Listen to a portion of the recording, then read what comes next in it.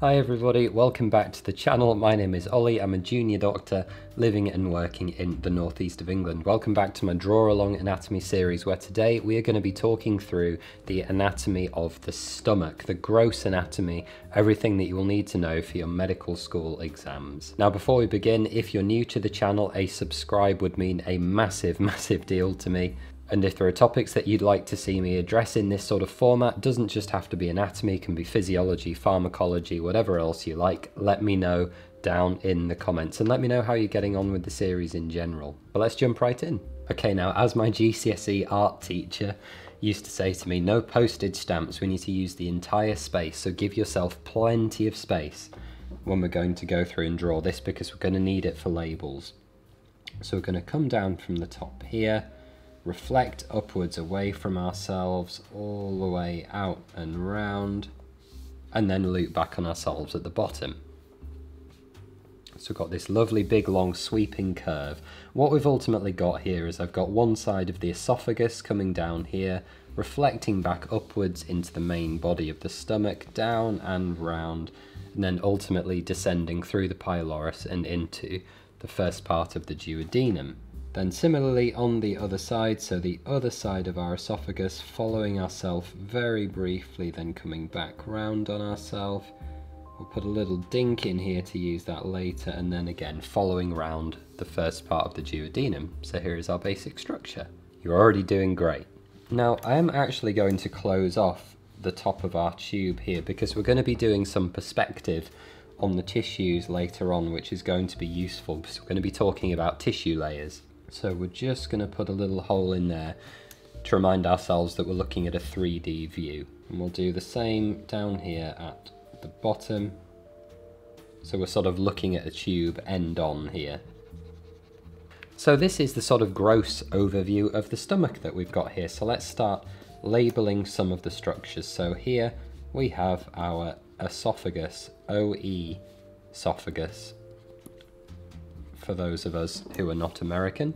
And we can label the other end as well, because as we said, we know the esophagus comes down, we have our mouth, goes into a food pipe and an air pipe. So the food pipe, the esophagus comes down, joins the stomach, and then ultimately continues into the duodenum. So we can label that too. This is the first part of the duodenum specifically. And now we can move on to labeling the main parts of the stomach, and different parts of the stomach have different anatomical names. So the first part of the stomach that we're going to name is the cardia, which I'm going to draw on here. It's essentially the part that is closest to the esophagus, but before we have this large upwards curve. And it's not super important to go into masses of detail about, but where the cardia begins is a line known as the Z line or the point at which the esophageal mucosa starts to change into the gastric mucosa, the tissue that lines the inside of the stomach. And it's this that tells us that we're coming through what's called the gastroesophageal junction, or the junction of the gastric region, the stomach, and the esophageal region, the esophagus. So when all of this stuff comes together and we start to transition into the stomach, this is when we transition into the cardia. The next region to know about in the stomach is the fundus, or the highest point. Now fundus is actually one of those general anatomical terms that is not specific to the stomach. Specifically what it means is the part of a hollow organ, so it could be the bladder, it could be the uterus, it doesn't have to be the stomach, that is the furthest away from the opening to that bag. Imagine a sack of money. If I were to hold that, the fundus would be at the bottom. However, because when we're thinking about the stomach, our point of reference is the far end that goes into the digestive tract, the furthest part away is the top bit or the fundus. And something that's very clinically relevant because the fundus is the highest part of the stomach, as in it's physically, geographically the highest, if there is any air present inside the stomach, which there usually is a small amount, the stomach is a bag full of liquid ultimately, so there'll be a liquid layer with air that will always rise to the top. This is actually the gas bubble that you can see on a chest x-ray underneath the diaphragm. It's sometimes called the gastric bubble, and this is where it is, the fundus. Now the next named region of the stomach is the body or corpus, depending on whichever terminology you want to use. Uh, this is essentially the vast majority of the stomach, the body or the corpus. And then as we approach this region down here at the bottom, just so you can see where I'm talking about, this is the region that we call the pylorus. Now, pylorus, interestingly enough, is the ancient Greek word for gatekeeper, and this tells us, the pylorus, this tells us what structure is going to be located here, and this little divot that I've put in, which is the pyloric sphincter. So we're going to label that right now, and this is the sphincter. So a sphincter, if you remember, is a ring of muscle that closes, opens and closes like this. And this is ultimately what controls the rate at which digested food contents enter your bowel. Because the digestive system is ultimately just a continuous tube. If you were to eat something like an apple and it drops through your esophagus into your stomach, we've got big bits of undigested apple, we need some time to digest that food and to get all the nutrients and things that we need out. We don't want everything just shuttling straight through the digestive system. So while the very acidic stomach is digesting everything, we need to keep this pyloric sphincter closed tightly so that stomach acid and all of the other things that the stomach does can have their time to work. More specifically, just this sort of entrance way to approaching the pylorus and the pyloric sphincter, this is called the antrum or the pyloric antrum. And in turn, this area, the bit that follows, is called the pyloric region because it's where the pyloric sphincter is. Anatomy is so easy. But now we're going to be a bit clever. I said we were thinking in 3D today, which we are, I'm not a liar. We're going to give ourselves a nice big cross section because we need to think about the layers and what's going on inside the stomach. So what I need you to imagine we've done here is we've simply taken a scalpel and cut away the entire side of the stomach. So this is a window. We're now looking through the wall of the stomach onto the inside and there are two layers that we have exposed when we've been doing that which we'll talk about in a moment because now let's assume this is all of our acid down here. This obviously isn't representative of real life, but just humour me for a second because the things that we need to talk about on the very inside of the stomach are these folds called rugae. And what these are is imagine that the stomach is a sort of shriveled ball like this. It's not very big in the average human, but when we eat food, depending on the amount that we eat and the amount that we can eat, the stomach expands to adapt to whatever we've eaten. And rugae are these folds which allow the stomach to compress and uncompress, but fundamentally they massively increase the effective surface area of the stomach. And if you think that it's going to be secreting digestive enzymes and hormones and everything else that the stomach needs to do, as well as being very collapsible. These rugae, these folds, are what allow the stomach to do that ultimately. The more tightly folded it is, the more ultimately it can expand and have as maximal a surface area as possible. So next we are going to talk about the muscular layers of the stomach as there are three. The stomach isn't simple in terms of its muscular distribution. It's got lots of different functions, and one of the things that the stomach needs to do is it needs to churn food. It's one of the ways in which our food is broken down. So the first is obviously mastication, chewing with our very powerful jaw muscles, which imparts a huge amount of force. We've got very sharp, developed teeth, specifically for tearing meat and for grinding vegetation, things like that. But the job is not done. When food gets into the stomach, it becomes submerged in acid, as we know, but the stomach also mechanically churns our food, and it has different orientations of muscular fibers to help it do that. And there are three layers, so from most superficial to least superficial, or outside to inside. The one on the outside, which I'm going to draw on like this, and as the name suggests, these fibers run longitudinally from top to bottom in the same orientation as the stomach. So if I were to just draw on some lines, they would follow around like this, following the structure. I'm going to take those off because it's messy, but you get the idea. And having fibres running longitudinally would help the stomach constrict top to bottom, like this, along its length. The next layer is the circular layer and they go right to left. So instead of top to bottom, this is now going circumferentially around the stomach, and this allows it to squeeze in this plane, in the horizontal or axial plane. So we've now got top to bottom movement like this. We've now got a squeezing motion from outside to inside with our circular layer.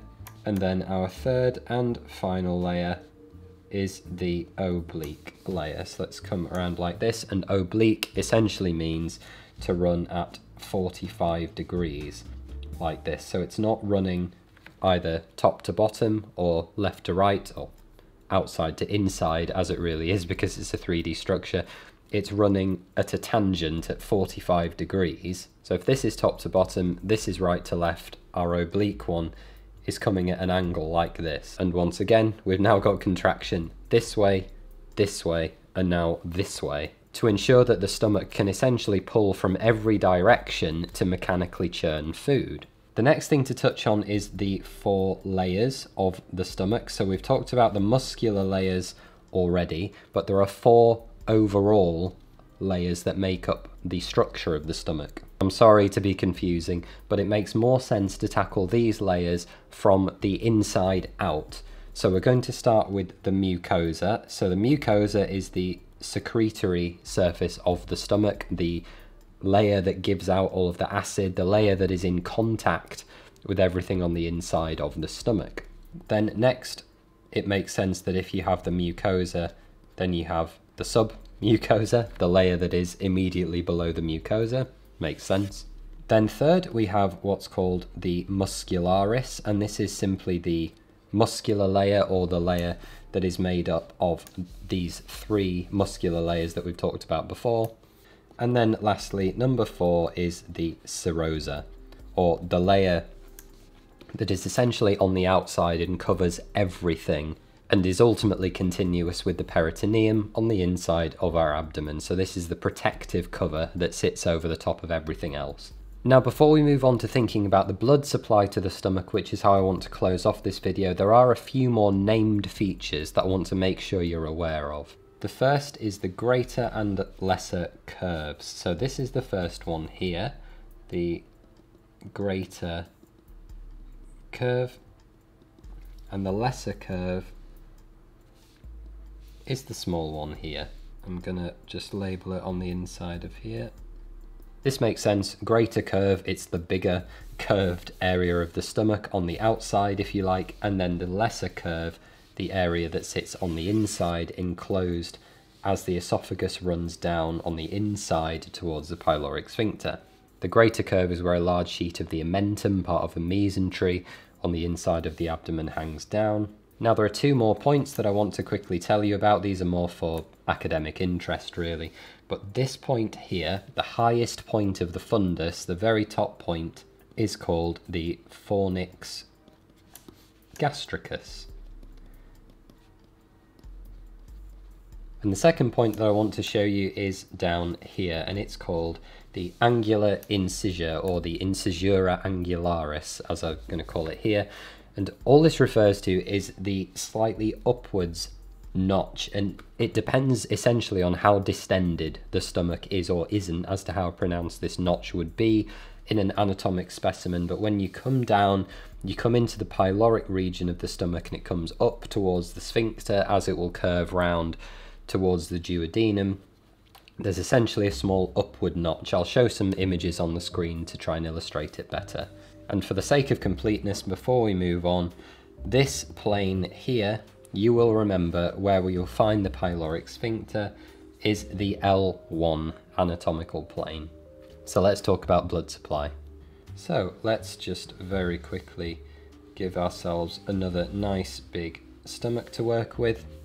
We can start to think about the blood supply. So our big daddy vessel here that we're going to use just to, to landmark ourselves and I'm going to draw my label out the way because we're going to need plenty of space, is the celiac trunk. And this is where all of the vessels that we're going to use for this explanation, this is ultimately where they arise from. And you'll remember that that comes off at approximately T12, the level of the 12th thoracic vertebra. And to me, when you're trying to revise the anatomy of the celiac trunk and the blood supply to the gut in general, with the celiac trunk, it's best to start with the three main branches every time because then you won't forget them. The first and the simplest is the left gastric artery, which is simply going to go up and then loop back down and follow the lesser curve of the stomach. Nice and easy, great place to start. And then that provides branches to this aspect of the stomach as it goes. The next one, the one that everyone remembers, is the splenic artery, which has this wiggly, what we classically call tortuous path. And just for reference, this is travelling behind the stomach here. That is our splenic artery. We didn't label left gastric properly, did we? And then as the splenic passes behind the stomach, it gives off all of these vessels to the far side of the body of the stomach and the fundus, and these are simply called the short gastric arteries. So let's come back over to our celiac trunk and the vessel that goes and travels right, and I'm going to take it right over this side. I'm going to go in and give ourselves a bit more space, but this is the common hepatic artery. So the name tells us two things. That tells us hepatic, that it's ultimately going to arrive at the liver, and common tells us that it's going to split off into lots of sort of daughter vessels as it goes. And the first of these splits that it's going to do, we're going to draw on here. It's going to come around and down, once again passing posteriorly to the stomach. But this is the gastroduodenal artery. As the name tells us, it's going to supply part of the stomach and then go on to supply the duodenum.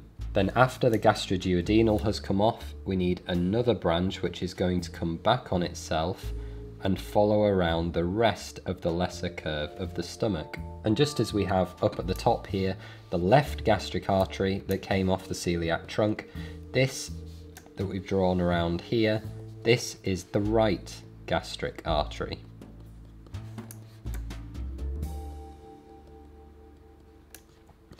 And that anastomose is in the middle with the left gastric, and this is how we get the circulation to the lesser curve of the stomach. These two vessels simply join together. Now once these two branches have been given off, we've got our first and second branches, this is where we get what's called the hepatic artery proper, or the proper hepatic artery, which will ultimately go off to the liver and split into the left and right hepatic arteries, but we don't need to deal with them right now. And I want to briefly return to our boy here, the gastroduodenal artery, because this is clinically very important. And the reason that it's very important is that if someone is prone to getting stomach ulcers or they have conditions which will lead to the formation of stomach ulcers, perhaps they have H. pylori, perhaps they're a very heavy drinker, perhaps they are using NSAIDs with no gastric protection for long periods of time and they begin to develop ulcers.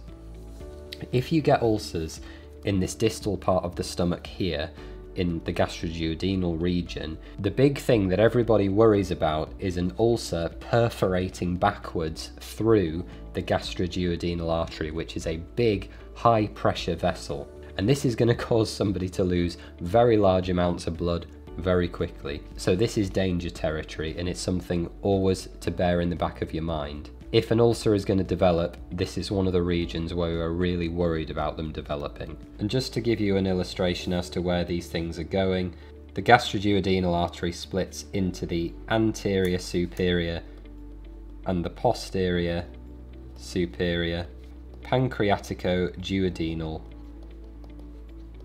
arteries. As the name suggests, goes off to supply part of the pancreas and part of the duodenum. And then we need to complete the picture finally. I asked you to remember the lesser and greater curves later. There's obviously a big gap in our diagram. From the gastroduodenal artery comes a very big and important vessel called the right gastroepiploic artery, sometimes called the right gastroomental artery. As I said before, if you remember that the omentum, this big sheet of mesentery, hangs off the greater curvature of the stomach. This is the vessel that supplies all of this. And then lastly, we're simply joining the dots. As you will have guessed, from the splenic comes the left gastroepiploic artery. And there you have it guys, that's the blood supply to the stomach as far as you need to know it for your exams. It, it's honestly not too bad. I think with blood supplies in general, the best way is simply do these schematic diagrams and draw them over and over and over again until you can remember it, like the back of your hand.